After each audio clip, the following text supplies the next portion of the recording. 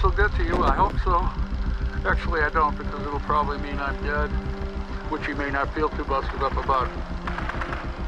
Sorry, I gotta keep this short. You may never forgive me for what I took from you, and I can't go back in time and fix all the mistakes I made. But maybe I can leave something for the future.